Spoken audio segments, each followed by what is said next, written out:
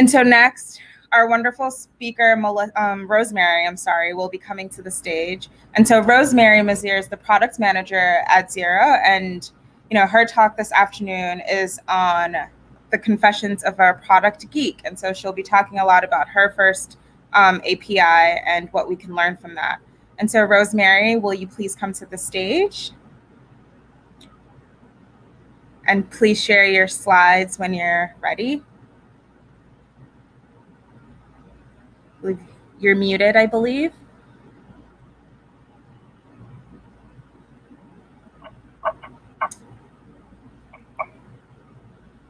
Hi, Shelly, are you able to see the slides now? Not yet.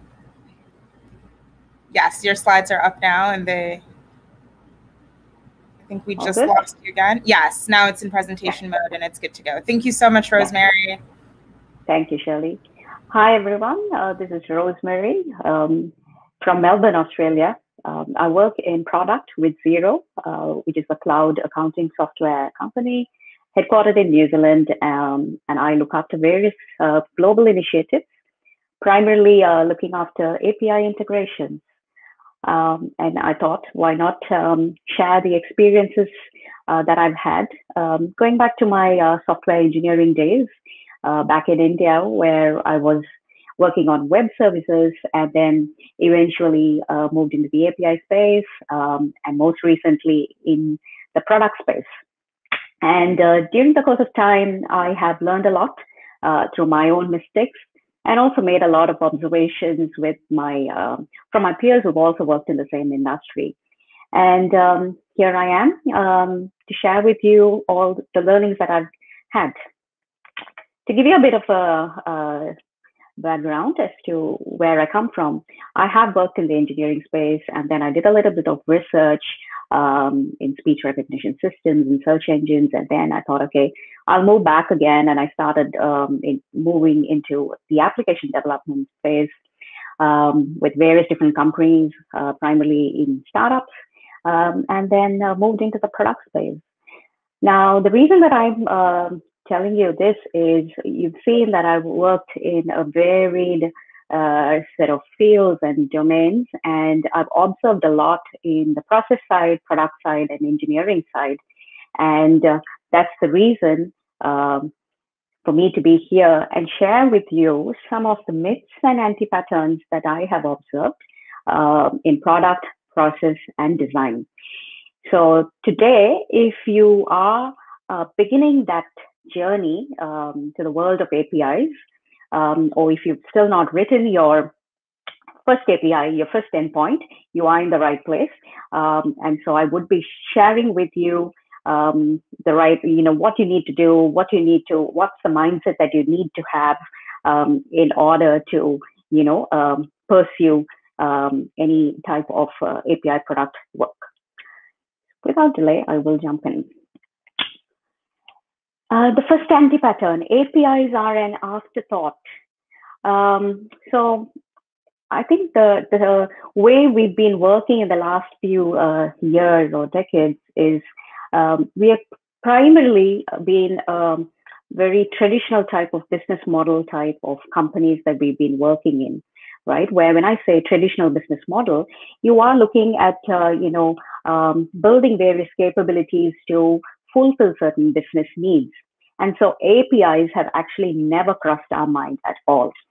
And um, that, that mindset is changing and we are becoming more um, aware. And that's where we start thinking of what can we do uh, about re, um, uh, re uh, uh thinking our strategy altogether, right? So um, you start looking at, you know, internal APIs, partner APIs, and external APIs. And um, you're now clueless as to where you want to begin. Now, let's look at just one part. Now, um, you might be uh, working on an application within your company, and maybe that new product would probably want um, another product team to expose that data. So look at it as uh, building up an uh, internal API where you can expose that data. In the case of partner API, you might already have an established relationship with an app partner, right? And so you might want to start writing up a few endpoints or um, a new API just for them. for a particular use case. And then the same holds true for, you know, external APIs and public APIs. But this mentality is very different from companies like Twilio and Stripe, which are heavily API-led companies. They thrive on only APIs. They create and sell APIs. Their revenue comes only from APIs, right? Now, traditional business model companies have to start thinking differently.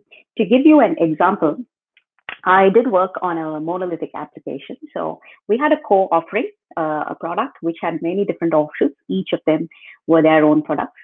And they were all very tightly coupled. That was the type of the architecture. Now, the core offering was had also exposed some of its uh, functionality as an API. And there came this use case which required one of the offshore products to also expose their functionality. Now, what we ended up doing is we started adding an additional endpoint to this existing API in order to uh, say satisfy this new uh, partner. And the use cases started increasing, and we started adding the next endpoint and the third and the fourth. But what is that the right way to move forward? No. You're already having an existing problem of a very tightly coupled product, right? So problem one is you've got to decouple it. Problem two is you're adding to that chaos by adding more endpoints to an existing API.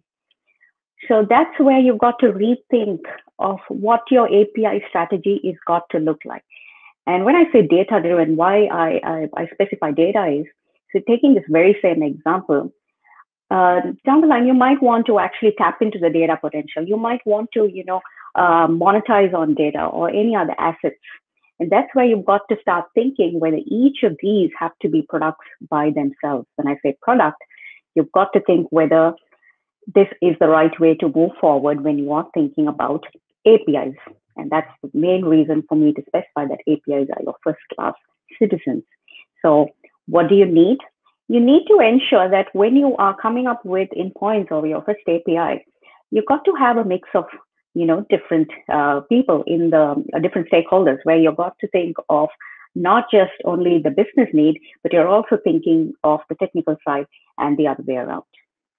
Now with that which my my second one is going to be linked um, to the previous. So this is another myth apis are uh, technical solutions not products now, I give you an example with most most of the places that I worked in, and even myself, we always have this mentality that APIs are technical solutions, and why do why do we have that uh, mindset? First point, we um, we connect uh, APIs with a developer, right? No UI, so we think, okay, it's a technical solution, right? There's there's there's the two primary reasons. It's a dev end user is not uh, is a developer and there's no UI, so you're probably thinking it's technical, and so which eventually leads to this thinking that it is not a product itself. But this has to change because we are looking at becoming a platform in times to come. And if you're going to be having technical solutions for the like similar to the example that I gave you previously, you will not uh, have that digital transformation right? So what would happen in the case um, where you start looking at APIs as technical solutions? They become very tightly coupled uh, to a use case, right? And so this could uh, end up being um, uh, you might end up in a situation where these APIs will need to be deprecated. And I'm going to give you an example here. One of the companies that I worked for, uh, we had a very strong base in a particular uh, region, and we were actually trying to um, uh, step into a new market. And we had an existing um, relationship um, with an app partner in the local region, and uh, we thought, okay, fine, they do have a, a, firm footing in this new market, so we might want to leverage off their offerings. So we were considering a strategic partnership there, and um, we had years to go before we actually um, stepped into that new market. And so what happened in the interim was we started, uh, in order to keep the communication and uh, uh, the partnership going, we started uh, fulfilling small use cases, coming up with, uh, you know, endpoints, um, which will, um, you know, um, overcome certain pain points in um, the local region. Now, what happened to this was we really didn't do much research into uh, the problem. And so what happened, we didn't gain that much, uh, uh, we didn't have that much of a gain in the local market, as well as what happened in time to come, we were not able to also uh, get a firm footing in the new market because this particular app partner had a shrinking user base. So the biggest mistake that we made here is we rushed into it. So that was one problem. We never uh, foresaw that uh, if we um, start adding these new endpoints for this one app partner, would it be really worth it if we were to actually start having more app partners join us? And that became a big, bigger problem. And that's where we were like shuttered for low adoption and we, it became a throwaway API. So we had to deprecate APIs. So when you are thinking of um, APIs, you need to keep in mind that eventually you, you may start off testing um, an API or an endpoint with one uh, developer, but that may change over time. You're not going to build it for one. So never um, settle for anything short term. Um, always keep the long term uh, goal in mind. And in order to make that happen, uh, you need to ensure that you do have a good mix. So the product people have to wear a, a technical hat. And you know, um, the technical people also have got to look at the business side. And when I say business side, we need to keep in mind that the business needs are driven by the developer. So that also that thinking should also change. It's no longer the traditional end user or consumer, but the consumer here is the developer themselves. Now we'll we'll we'll shift. We're going to be talking about um, agile. Now in um, a typical software development, we say we want to be agile, and we have different flavors of agile. Uh, but when it comes to API development, I have noticed that uh, we still have a waterfall approach. So when I say waterfall, you want to, you know, define uh, uh, the API requirements, get the full contract, um, get into the design phase and the development phase, then the testing, and then you're out. You wait for this whole cycle, and that's typically a waterfall. But we never think that API development can also be um, iterated because innovation is key even when you are into this API space. And innovation demands agility, right? And agility will require you to have that collective uh, ownership. So you need to ensure that you bring um, everybody on on board. Um, so when I say everybody on board, you have different stakeholders here, right? You uh, might want to bring in your developers um, and engage with them early on rather than wait till the very end. So when I talk about um, uh, API first approach, I want to stress here that when you begin and when you write your first endpoint, you're always in the mindset that you need to get it right. You need to, you know, have that contract well defined, and that's exactly uh, not the way to move forward. So you start, go with a very lightweight process, right? So you come up with a proof of concept, um, maybe write your own client. Um, and if it's an internal uh, API, you can also get that uh, uh, the team whom you're writing the API for to spin up a client um, and test it out themselves, right? And uh, the other good way to uh, do a bit of usability testing as well is do not give them any documentation. Uh, just observe and see how how they take take it forward. So that's that's a very low cost um, option too. But now this would this method wouldn't work if you are looking at writing APIs like um, the public APIs or uh, the partner APIs you your process will change obviously because you're working with developers who are outside uh, your company so you want to ensure you get it right um, and in the best way maintaining that communication as well so bring about this uh, collaborative design uh, where you get to talk about say uh, what protocol to use what words what nouns define you know the response codes get everything um, uh, you know get everyone in the room and discuss those topics early on right? And this can be iterated. When it comes to say, once you've decided, uh, once you've defined the contract and then you moved into you know, trying to start writing skeleton code, maybe keep iterating this. Then start talking about how you want to test it out. You might want to simulate the environment, or you might want to discuss about sandbox. So you can repeat the same um, conversations that you would have in traditional software product development, even when it comes to um, APIs. At the end of the day, you need to ensure that they do have uh, all the information that they need and they should be able to self-serve them. And this would definitely come only if you have an agile and iterative way of uh, developing APIs. Okay, this uh, will move, it's still sticking to the process side, but this is a, uh, more of an anti-pattern. Now, we often think um, artificial intelligence and APIs are not complementary, um, but just like how we know artificial intelligence is applicable to any industry, um, which means even if there are APIs, you can still make use of artificial intelligence. And I'm going to give you an example of where you can use this. We start off with usage monitoring. So especially in uh, the finance field and the accounting field, so any compliance um, field, for us, it is very key. And I, I stress this because I, I've been working in uh, BFSI and uh, most recently with Xero as well. So it's very key uh, or important, critical for us to pick and choose who we integrate with. And um, we go through a lot of assessments. We, the developers have to um, go through security assessments, certification requirements, and this could come through various regulatory bodies. Um, like Australia does have, uh, you know, the various different uh, tax organizations, finance organizations, who you have to get through uh, step by step in order to actually integrate with them. Now, this often sometimes can be a one-off uh, type of an assessment which you do before you get into a deal, a strategic partnership with this developer. And you get to know what their branding is, what their usage is going to be like, so you're well aware. But what happens, say, one year later, you can see that the usage starts changing. You might see, um, uh, if, if for for example, if we were expecting one million requests per 10 seconds and you're now seeing 1 million requests per second, that's a massive difference.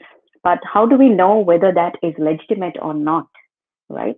So in this particular case, I've seen um, in few different companies where the process is manual because they are now trying to actually assess to see whether this is uh, uh, these are, are these legitimate requests. Because when I say legitimate, I don't mean where we go on the technical side, the development side, pull up the logs. That's not what I'm referring to. We start looking at reassessing this developer or the app partner all. We start the process again. So you get sales, marketing, dev evangelists, you know, going through the whole process of trying to see, is this app partner doing the right thing? Is it part of their business model to actually, well, what, you know, the, to uh, ensure that this is the right pattern that we see? This is manual. So to cut away this um, manual element, you can start using artificial intelligence. And I give, I've given an example as unsupervised learning clustering here, but that's where you start. We, for this particular example, we started um, categorizing different um, partners, and then we started looking at the usage. So we started looking at the usage pattern for APIs. And um, we were able to start seeing patterns and clustering. And um, that's typically an example where you can start looking at how APIs are being used by various different partners who have their apps classified into different categories, right? Um, now, intelligent traffic monitoring and security testing, I'll give you a, an example that will talk about both. We go through a lot of different um, uh, uh, testing uh, techniques and methods right throughout the life cycle, right? So we start with unit tests and then we end up right to production testing, but uh, which also includes security testing. But we need to keep in mind that not uh, there will be still gaps, um, and which is why we still have uh, um, you know hackers trying to hack into uh, various different systems too. Even though we have like we try and prevent DDoS attacks, we have WAFs, we have uh, gateways which are checking your um, valid inputs, invalid inputs. We have uh, you know sessions, and we do a lot of uh, we take a lot of um, meta meta controls and we put in a lot of uh, security controls to ensure that um, our APIs are safe uh, to consume. But there are still gaps, and these gaps can be uh, actually um, well understood if we have AI as a part of the security testing. So tools like Ping Intelligence will actually be able to tell you and analyze, say, this is your good traffic, this is your bad traffic, uh, or you might have some decoy APIs there.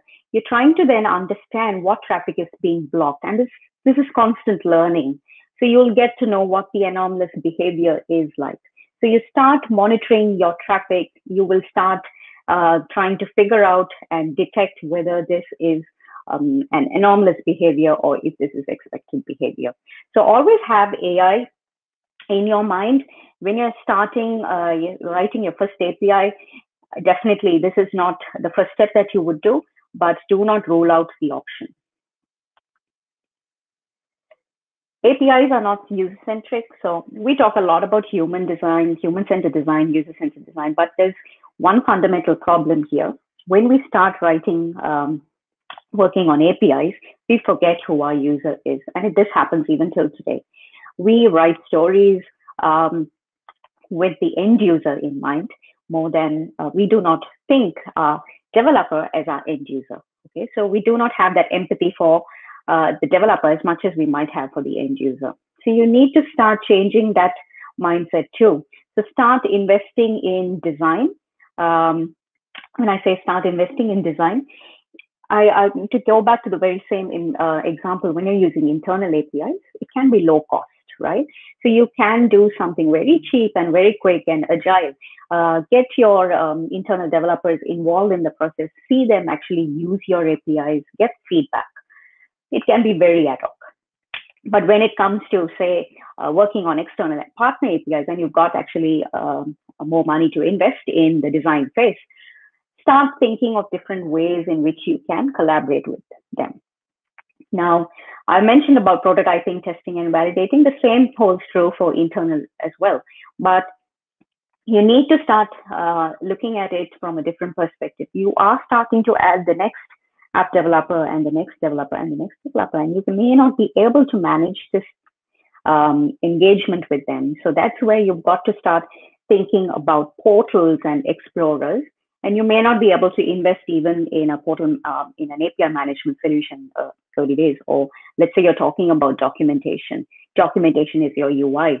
So um, you may not be able to have um, very sophisticated docs, but a Postman collection should do, right? Or maybe you might just have some sort of a internal UI that you came up with for your company. Maybe you can have, uh, you can help your developers by putting up some documentation there. So always think um, that you can help your developers self-serve. And that should be um, in your mind always. So do not alienate them. Get them involved, whether there is an outcome every sprint or not. Ensure that you keep that constant engagement with them going and never leave them alone. APIs are cruddy. Okay, often we think APIs are all about REST. And so when you think about REST, and this happens at, um, especially with the uh, new developers, junior developers, they think about, you know, uh, only CRUD operations, right? Create, read, update, delete. And that's because REST is in their mind. Um, but we've got to think we came from a SOAP time, then we moved to REST, and today everything is very different. We are looking at um, not just REST type of applications, we are looking at when you're talking about um, uh, async APIs, you're talking about uh, like things like webhook, um, you're talking about protobuf, you're talking about uh, you know when you have uh, you want to have a subset of fields and from multiple resources, you're talking about GraphQL, right? So you when you think about performance, you're looking at various other options too. So you, uh, you might want event-driven architecture where you're looking at a pub sub model or you might be working on a Fitbit, you're looking at device APIs. So you're, you've got to start thinking beyond just a, a web application and just REST APIs and CRUD. Uh, think big. Um, things could change over time. We always have this idea that REST would replace SOAP, and it didn't. Now we think that gRPC, GraphQL could. There's um, there's like an anti-sentiment about REST, and they could replace REST, but no, they would continue to exist, right? So have this mentality in mind that you can, it is possible to go beyond REST, possible to go beyond um, CRUD and have these protocol conversations with your developers. Okay, uh, this is a giveaway. When I say black box, um, I'm talking about testing here. The reason I specify testing is uh, sometimes when you're working with your developers, you could end up in situations where you do not have sufficient information to help them. And uh, to give a very uh, uh common example that I've noticed, they might come back to you saying that we are getting 500 server errors, 5x6 errors. But when you are you as a API provider go back and start looking at your uh, code and your entries, you notice I've noticed this. The response codes are the response codes are not perfect, right? You you have like a zillion response codes, but we default to just having 200, 500, and this is a common mistake I have seen. Take some time to actually look at mm-hmm. other response codes as well right? And when it comes to network conditions, you might have, especially in finance and compliance, you've got to remember, like for us regulatory bodies, they actually, when they open up their APIs, they tell us how many, you know, how many retries at what frequency. So be clear as to what your retries are going to be. Have sufficient logging, in, especially in this field of finance. You, for auditing purposes, you've got to be very clear um, in case you get audited, right? and for security breaches as well. I'm sorry to interrupt. Unfortunately, we are out of time. And so I have to in- interrupt you at this juncture. But thank you so much for the time that you put into this presentation and for, you know, just so much that you've elucidated for all of us. Um, thank you for your time. I would encourage you to definitely look at the chat because there were some comments coming in for you as well. So please stay and network and, and talk to other folks.